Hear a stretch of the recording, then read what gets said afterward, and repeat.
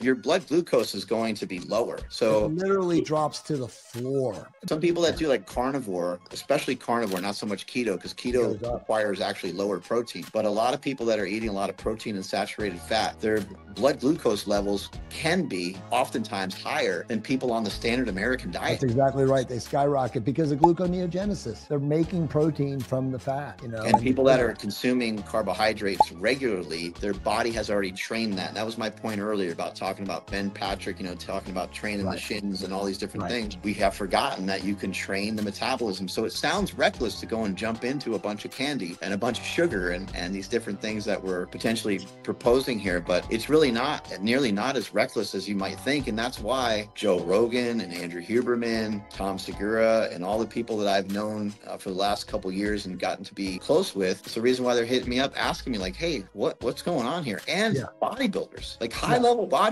are talking about, hey, maybe I could utilize a little bit this in prep. Like that's unheard of. Bodybuilders never adopt anything new in prep except for drugs. they, right. They're not going to change their fucking diet though, that because their career's on the line.